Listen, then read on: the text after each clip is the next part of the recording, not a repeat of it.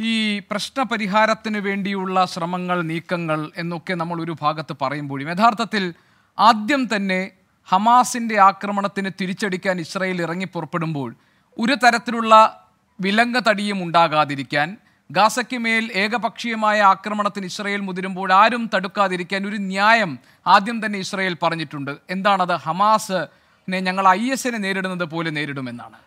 അത് പിന്നീട് American president ഇസ്രയേലിൽ ആവർത്തിക്കുന്നത് നമ്മൾ കണ്ടു. അതിനുശേഷം അദ്ദേഹം ഈ ഹമാസിനെയും റഷ്യയും കൂട്ടിക്കെട്ടിക്കൊണ്ട് ഒരു പരാമർശം നടത്തുന്നത് നമ്മൾ കണ്ടു. അതായത് ഒരു സ്റ്റേറ്റിനെയും ഒരു നോൺ സ്റ്റേറ്റ് ഗ്രൂപ്പിനെയും ഒരുമിച്ച് നിർത്തിക്കൊണ്ട് ഈ അവരെ നേരിടുന്നതിനെ കുറിച്ച് പറയുന്നത് കേട്ടു. അപ്പോൾ ഹമാസിനെ ഒരു തീവ്രവാദ സംഘടനയായി കാണുകയും ഹമാസ് നടത്തിയത് തീവ്രവാദ ആക്രമണമായി പരിഗണിക്കുകയും അതുകൊണ്ട് തന്നെ ഐ എസിനെ നേരിടുന്നത് പോലെ ഹമാസിനെ നേരിടും എന്ന് ന്യായം പറഞ്ഞുകൊണ്ടാണ് ഗാസയിലെ ഏകപക്ഷീയമായ ഇസ്രയേലിന്റെ ആക്രമണം നടക്കുന്നത്. അവിടെ ഈ പശ്ചിമേഷ്യയിലെ യഥാർത്ഥ പ്രശ്നങ്ങളെ അഭിസംബോധന ചെയ്യാൻ അതിനൊരു രാഷ്ട്രീയ പരിഹാരം കാണാനുള്ള സർവസാധ്യതകളെയും അടച്ചുകൊണ്ടുള്ള ഒരു നീക്കമായിട്ടാണോ നമ്മളിപ്പോൾ അതിനെ കാണുകയും പരിഗണിക്കുകയും വേണ്ടത്. അതല്ല എവിടെയെങ്കിലുമൊക്കെ സംഭാഷണത്തിന്റെ സാധ്യതകൾ അവശേഷിപ്പിക്കുന്നുണ്ടോ ഇസ്രയേലിന്റെ ഇപ്പോഴത്തെ നടപടികളും നീക്കങ്ങളും? അല്ല ആദ്യം തന്നെ ഹമാസ് നമുക്ക് ടെററിസ്റ്റ് ഓർഗനൈസേഷൻ ചിലർ കാണുന്നു ചിലർ കാണുന്നില്ല. അതെന്തോ അവിടെയല്ല ഇഷ്യൂ എടുക്കുന്നത്. ഹമാസ് എലക്ഷൻ ജയിച്ചു എന്നുള്ള ഒരു വിഷയമുണ്ട്. പലസ്തീനിൽ എലക്ഷൻ നടന്നപ്പോൾ ഗാസയിൽ പൂർണമായിട്ടും വെസ്റ്റ് ബാങ്ക് വെസ്റ്റ് ബാങ്കിലും ഭാഗികമായിട്ടും അവർ അവർക്ക് വലിയ വിജയം വന്നിട്ടുണ്ട്. അവരപ്പോൾ എലക്റ്റഡ് പ്രതിനിധി കൂടിയാണ് എന്നുള്ള കാര്യം നിങ്ങൾ മനസ്സിലാക്കണം. അപ്പോൾ അല്ലാതെ വെറും ഒരു ഓർഗനൈസേഷൻ മാത്രമല്ല രണ്ടാമത്തെ കാര്യം ഇതിലുള്ള എന്താ വെച്ചിട്ടുണ്ടെങ്കിൽ അവരിത് സ്ട്രാറ്റജിക്കായിട്ട് യൂസ് ചെയ്തിരിക്കുന്നതാണ്. നേരത്തെ നമ്മുടെ എക്സ്പേർട്ട് പറഞ്ഞ മാതിരി തന്നെ അതായത് ഈ നമ്മൾ അത് നല്ലൊരു കാര്യമൊന്നും ഇട്ടിട്ട് ഞാൻ കാണുന്നില്ല. അത് സാമ്രാജ്യത്വം അതിൽ ഇടപെടുന്നതായിട്ടേ ഞാൻ കാണുന്നുള്ളൂ.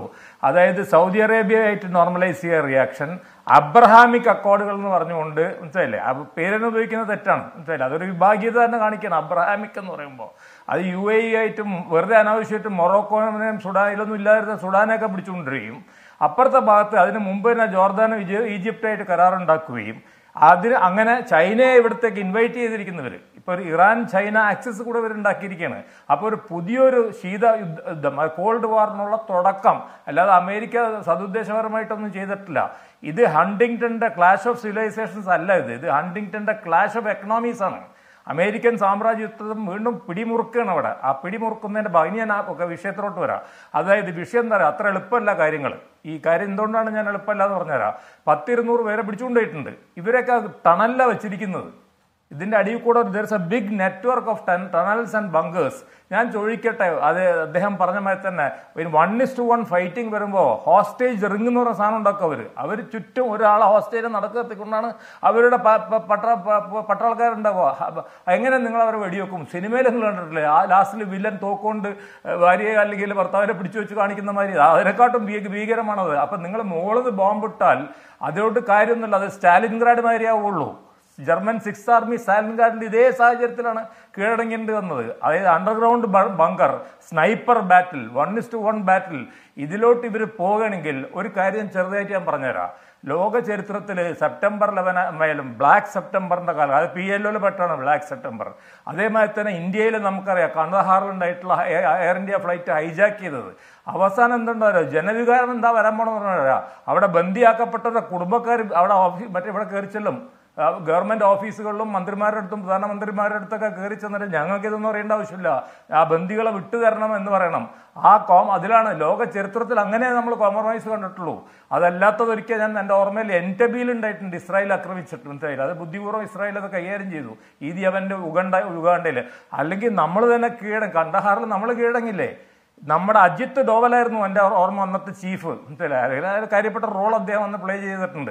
അന്ന് ഇന്ത്യയിൽ തന്നെ അഭിപ്രായ വ്യത്യാസം ഉണ്ടായി ഒരു ഭാഗത്ത് ഈ ജസ്വന്ത് സിംഗും മറ്റൊരു വശത്ത് എൽ കെ അദ്വാനിയും ഇവരെ വിട്ടുകൊടുക്കാൻ പാടില്ല എന്ന് പറഞ്ഞിട്ടുള്ളത്. അപ്പോൾ നമ്മൾ ഇന്ത്യയിൽ തന്നെ മനസ്സിലല്ലേ ചെറിയൊരു സംഭവത്തിന്റെ ബേസിസിന് നമ്മൾ എത്ര പേരെ വിട്ടുകൊടുക്കേണ്ടതെന്ന് പാകിസ്ഥാൻ ടെററിസ്റ്റുകൾ അപ്പോൾ ഇത് അത്ര എളുപ്പമല്ല. കാരണം ഈ ബന്ദിയാക്കപ്പെട്ടവർ പല രാജ്യങ്ങളിൽ നിന്നുള്ളവരാണ്. അവരെ ഇത് ഇതുവരെ അവരുടെ പേരോ കാര്യങ്ങളോ പുറത്തുവിട്ടിട്ടില്ല ഹമാസ്. ആരെയാണ് ബന്ദിയാക്കിയിട്ടുള്ളതെന്ന്. ആ ബന്ദിയാക്കിയിട്ടുള്ള ആൾക്കാരുടെ പേരുകൾ പുറത്തു വരുമ്പോൾ ഈ ഇസ്രായേലിന്റെ കൂടെ നിൽക്കുന്ന രാഷ്ട്രങ്ങൾ നിങ്ങൾ പറയുന്ന രാഷ്ട്രങ്ങൾ യൂറോപ്യൻ രാഷ്ട്രങ്ങൾ അല്ലെങ്കിൽ ഈവൻ അറബ് രാഷ്ട്രങ്ങൾ മനസ്സിലായില്ലേ? അതിൽ ഇതിൽ ജാതി മതമൊന്നുമില്ലല്ലോ. ഈ വിഷയത്തിൽ ആ- ആ ആൾക്കാരുടെ എങ്ങനെയായിരിക്കും അവരുടെ അപ്രോച്ച് എന്നൊരു കാര്യത്തിലോട്ട് നമ്മൾ നോക്കേണ്ടി വരും. പിന്നെ ഒരു കാര്യം കൂടെ പറഞ്ഞുകൊണ്ട് ഞാൻ അവസാനിപ്പിക്കാം. അല്ല ഞാൻ ചോദിക്കുന്നത് ഇപ്പോൾ സൗദി അറേബ്യ നേതൃത്വം കൊടുക്കുന്ന പശ്ചിമേഷ്യൻ രാജ്യങ്ങൾ പോലും ഇസ്രയേലുമായിട്ടുള്ള ബന്ധം സാധാരണഗതിയിലാക്കുന്ന ഒരു പുതിയ പുതിയ ഒരു ജിയോ പൊളിറ്റിക്കൽ സിറ്റുവേഷൻ അവിടെ രൂപപ്പെട്ടിരുന്നല്ലോ. അപ്പോൾ അതിന്റെ ഭാഗമായിട്ടായിരുന്നല്ലോ രണ്ടായിരത്തി ഇരുപതിലെ ഇസ്രായേലുമായി സമാധാന കരാറിൽ ഒപ്പുവെച്ചത്. നോർമലൈസേഷൻ എഗ്രിമെന്റിലേക്ക് യു എ ഇ കടന്നതൊക്കെ അതിന്റെ ഭാഗമായിരുന്നല്ലോ. ഞാൻ ചോദിക്കുന്നത് നിലവിലെ സാഹചര്യത്തിൽ പിന്നെ ആരാണ് ഈ പശ്ചിമേഷ്യൻ പ്രശ്നങ്ങളിൽ പലസ്തീന്റെ സ്വാഭാവികവും നൈതികവുമായ അവരുടെ ആവശ്യങ്ങൾക്ക് അനുകൂലമായി നിൽക്കാനും ഒരു നിരപരാധിയായ ഒരു ജനതയ്ക്ക് നേരെ ഇങ്ങനെ ഏകപക്ഷീയമായ ആക്രമണത്തെ തടഞ്ഞു നിർത്താനും ശബ്ദമുയർത്തേണ്ടത് ആരുണ്ട് എന്നാണ് ഡോക്ടർ ഫസൽ ഗഫൂർ ഞാൻ ചോദിച്ചത്.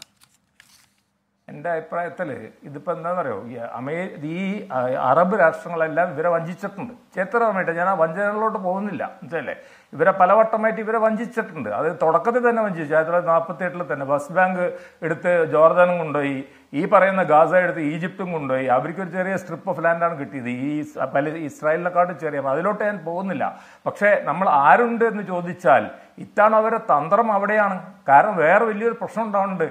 നിങ്ങൾ രാഷ്ട്രങ്ങളുടെ വികാരത്തെ പറ്റി പറയുമ്പോൾ അറബ് രാഷ്ട്രങ്ങളുടെ വികാരം എന്താണ് ഇപ്പോ അറബ് ജനത വേറെയും അറബ് രാജ്യങ്ങൾ വേറെയും നമ്മൾ മനസ്സിലാക്കണം. രാഷ്ട്ര മറ്റേ രാഷ്ട്ര തലവന്മാര്. ജനാധിപത്യ ആ ജനാധിപത്യ രീതിയിൽ വന്നാലല്ല നമ്മളത് മുല്ലപ്പൂ വിപ്ലവത്തിന്റെ കാലഘട്ടത്തിൽ കണ്ടിട്ടുള്ളതാണ്. അപ്പൊ ജനങ്ങളുടെ വികാരം പിന്നെ ഒരു വലിയൊരു പ്രശ്നം കൂടെ രണ്ട് പ്രശ്നം ഞാൻ പെട്ടെന്ന് പറഞ്ഞിട്ട് അവസാനിപ്പിക്കുക. ഇപ്പൊ ഉദാഹരണമായിട്ട് ഈജിപ്തിനുള്ള ഏറ്റവും വലിയ പ്രശ്നം എന്താ അറിയോ ഈ ഹമാസ് എന്ന് പറഞ്ഞാൽ ഇക്വാനുൽ മുസ്ലിമീനിൽ പെട്ടതാണെന്നാണ് ഞാൻ മനസ്സിലാക്കുന്നത്. അറിയാലോ ദ മുസ്ലിം ബ്രദർഹുഡ്. ഈജിപ്തിൽ ഈ അടുത്ത് വരെ മുസ്ലിം ബ്രദർഹുഡാണ് ഭരിച്ചിരുന്നത്. അതായത് മോർസി. അപ്പോൾ ഒന്ന് അപ്പോൾ ഈജിപ്തിൽ വലിയൊരു സപ്പോർട്ട് ഉണ്ട് ഇവർക്ക്. മനസ്സിലായില്ല? അപ്പോൾ ഇവർ വല്ലാതെ അടച്ചു വെച്ചുകൊണ്ടിരുന്നാൽ കുറച്ച് കഴിഞ്ഞാൽ ഈജിപ്ഷ്യൻ ജനതയുടെ ഇതുണ്ടാവും. ലെബണനിൽ വേറെ സ്ഥിതി വേറെയാണ്.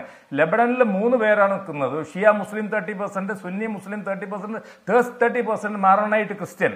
അപ്പോൾ അതും വളരെ കോംപ്ലിക്കേറ്റഡ് ആയിട്ടുള്ള ഒരു സ്ഥലമാണ് വെസ്റ്റ് ബാങ്കിന്റെ മുകളിൽ നിൽക്കുന്നത് ഇപ്പുറത്ത് ഗാസ എടുത്ത് നിൽക്കുന്നത് അതുകൊണ്ട് ഈജിപ്തിന് ഈ ഇരുപത് ട്രക്കൊന്നുമല്ല ഈജിപ്തിന് ആദ്യകാലമൊന്നും അവർക്കുള്ള കൊടുക്കേണ്ട എയ്ഡ് പിടിച്ചു നിർത്താൻ പറ്റുകയില്ല. കാരണം ആദ്യം ഈജിപ്റ്റൊക്കെ തന്നെയാണ് പ്രശ്നങ്ങൾ ഉണ്ടാക്കിയത്. അല്ലാതെ നമുക്ക് പറയാൻ പറ്റൂലല്ലോ.